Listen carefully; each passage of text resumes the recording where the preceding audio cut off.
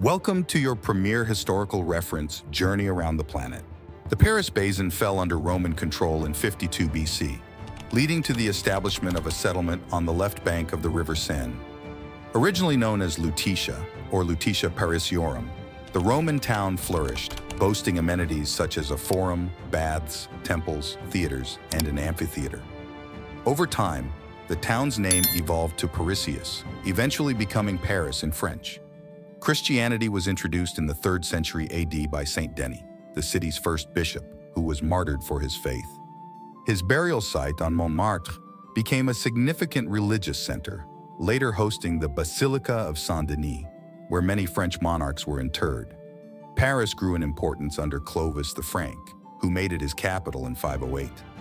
Despite facing Viking raids and other challenges, Paris remained strategically significant as demonstrated by its successful defense during the Siege of Paris, 885-886. Under the Capetian dynasty, which began with Hugh Capet's election as king in 987, Paris emerged as France's largest and most prosperous city.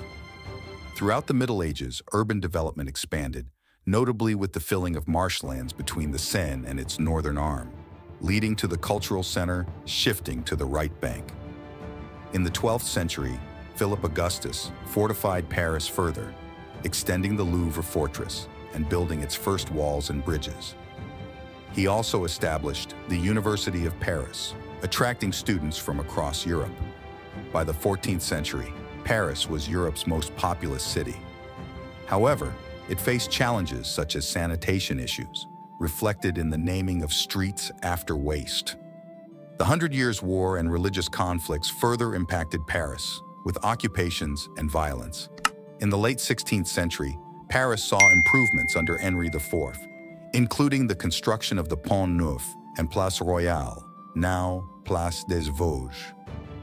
Cardinal Richelieu continued this trend, enhancing the city's beauty with new bridges, buildings, and boulevards. Louis XIV's reign marked a shift, with the royal court relocating to Versailles in 1682. Despite this, Paris remained a center for arts and sciences, with institutions like the Comédie Française and the French Academy of Sciences flourishing. The king's demolition of city walls led to the creation of iconic tree-lined boulevards.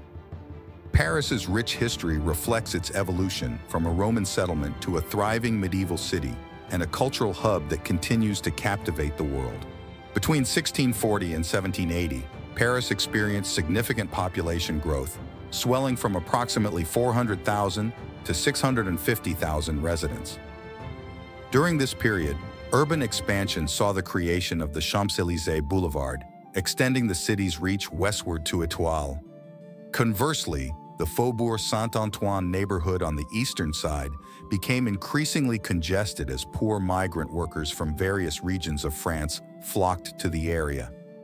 The events of the French Revolution placed Paris at the epicenter of philosophical and scientific enlightenment. In 1751, Diderot and D'Alembert published their influential Encyclopédie, while in 1783, the Montgolfier brothers achieved the first manned flight in a hot air balloon. Paris also solidified its status as the financial capital of continental Europe and a hub for industries such as book publishing, fashion, and luxury goods manufacturing. The summer of 1789 marked a pivotal moment in Parisian history as the revolution unfolded. On July 14th, a mob seized the arsenal at the Invalides and stormed the Bastille, a potent symbol of royal authority. Subsequently, the first independent Paris Commune convened, electing Jean-Sylvain Bailly as mayor. The revolution's radical turn led to the execution of Louis XVI, Marie Antoinette, and numerous others during the Reign of Terror. Following the revolution, Paris experienced fluctuations in population, with a significant drop during the upheaval but a subsequent surge after Napoleon Bonaparte seized power in 1799. Napoleon's reign brought significant urban development, including the construction of iconic monuments such as the Arc de Triomphe and infrastructural improvements like new fountains and bridges. The Restoration period saw the reversion of Paris's landmarks to their pre-revolution names. while the July Revolution of 1830 ushered in a constitutional monarchy under Louis-Philippe III. The advent of railway lines in 1837 initiated a wave of migration from the provinces to the capital. Subsequent administrations, notably under Napoleon III and Georges Eugène Haussmann, embarked on ambitious urban renewal projects, creating wide boulevards, parks, and modern infrastructure.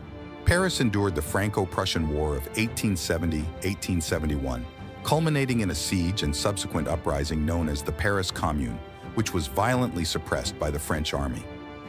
Despite these tumultuous events, Paris hosted two influential international expositions in the late 19th century, showcasing architectural marvels like the Eiffel Tower and landmarks such as the Pont Alexandre III and the Grand Palais.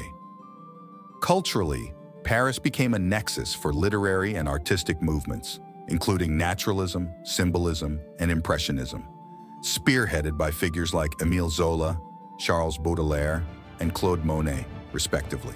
If you're intrigued by Paris's rich tapestry of history, don't forget to like, subscribe, and share this video with fellow history enthusiasts. Join our community and embark on a journey through time with us.